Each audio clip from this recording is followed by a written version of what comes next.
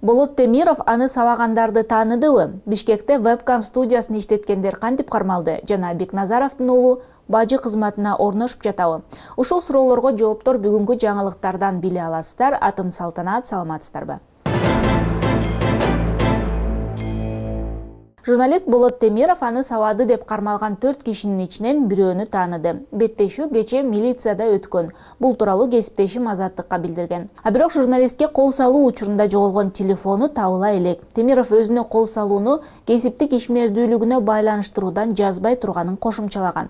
Факт чек порталынын редакторун тогузунчу январда белгисиз адамдар сабап кетишкен бул иш боюнча эки күн мурун төрт киши кармалган эле. Вице премьер министр жеңиш разаков чек ара маселеси боюнча митингге чыккан жергиликтүү бийлик өкүлдөрүнө карата кызматтык иликтөө жүргүзүүнү сунуш кылды.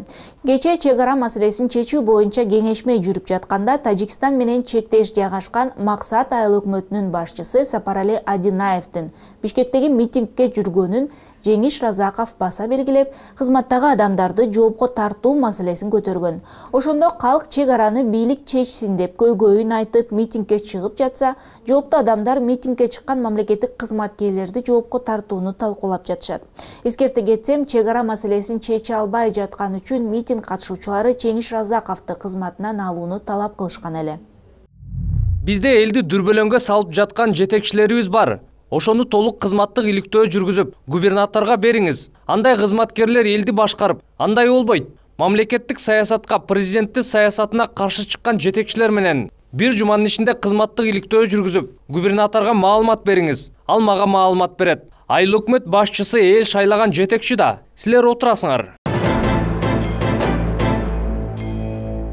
ордо калаада мыйзамсыз иштеген вебкам модельдердин студиясы аныкталды. Экономикалык кылмыштарга каршы күрөшүү кызматынын өкүлдөрү эки кабаттуу үйдүн ичинен жыйырма улан кызды иш үстүндө кармашкан. Бул жумуштун уюштуруучулары менен катышуучулары кандай жазага тартылышы мүмкүн экени мыйзамда так жазылган Бұл үйгі ұқчам қызматкерлер терезе Арқылу кіргені арғасыз болышты. Анткені ішіндегілер қалған ашпай қойышқан. Видеода имараттың ішкі бөлмелері темір торларменен тосылғаны белгілі олды. Үқчам қызматкерлер үйгі кіріп барышқанда ондон ашуын оператор балдарды қармашқан. Бір бөлмі интернет кафе қатар жасалып, ішінен төшөктөр шыққан. Веб модельдердің өздерін тауышқан емес. Кийинки хан сарайда веб модельдер кармалышты жалпысынан беш кыз виртуалдык интимдик кызмат көрсөтүү үчүн шаймандар менен колго түшүштү жеринде веб камералар орнотулган компьютерлер жатактар жана башка буюм тайымдар табылган экономикалык кылмыштарга каршы күрөшүү кызматкерлери учурда бул мыйзамсыз жайдын уюштуруучуларын аныктап жатышат эң кызыгы мурдагы мыйзам боюнча интернет аркылуу интимдик кызмат көрсөтүүгө шарт түзгөндөр эки жылга чейин эгер бул ыплас ишке жашы жете элек кыздарды тартышса студиянын негиз издөөчүлөрү бештен он жылга чейин эркинен ажыратылышмак. Жаңы кодекстер ишке кириши менен колдонулчу жаза түрлөрү жумшартылган. Эми веб модельдерди иштеткендер алтымыш миңден сексен миң сомго чейин айып пул төлөп кутулушат.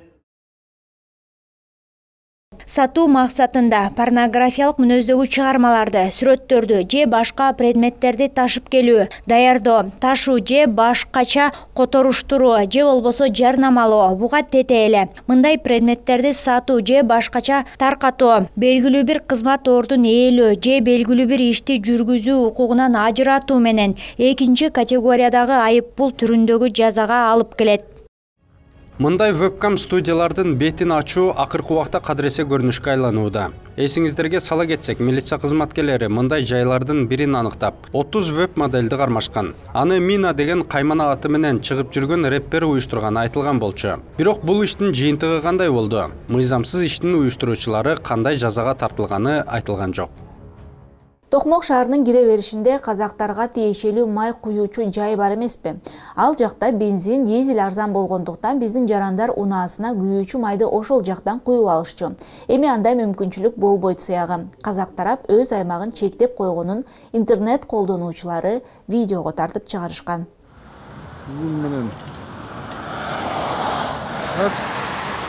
Бүгүн эми жагымдуу жаңылыктардан беш күндүн ичинде эки алтын медаль тагынган азамат кыз тууралуу. Айсулуу тыныбекова кайрадан мыктылыгын далилдеп италияда өтүп жаткан эл аралык мелдеште алтын медаль тагынды. Кыргызстандык балбан кыз кечээ кыз келиндер күрөшү боюнча сынакта кытайлык жана америкалык эки балбан кызды жеңип финалдан орусиялык любовь овчарованы жети эки эсебинде утуп алды. Тыныбекова мындан төрт күн мурда эле туркияда өткөн турнирде дагы жеңүүчү болгон куттуктайбыз жана сыймыктанабыз. Интернетке дагы бир кызыктуу маалымат чыгып кетти. Мамлекеттик бажы кызматы кадрдык резервинин тизмесине азимбек уулу токтогул аттуу жаранды киргизгени көпчүлүктүн көңүлүн бурган. Айрым адамдар бул азимбек бекназаровдун уулу деп айтып жатышат. Бажы кызматына чалып сураганыбызда бул маалыматты тастыктай алышкан жок кыргыз республикасынын президенти сооронбай жээнбеков жол эрежелерин бузууларга айып пулдарды азайтуу мыйзамына кол койду. Эми транспорт каражаттарынын айдоочуларынын жол кыймылынын айрым мыйзам бузуулары үчүн айып пулдун өлчөмү үч миң сомдон миң сомго чейин төмөндөтүлдү. Ушул жана башка жаңылыктар тууралуу пикирлериңерди комментарийлерге жазыңыздар. Мен сиздер менен коштошом. Аман туруңуздар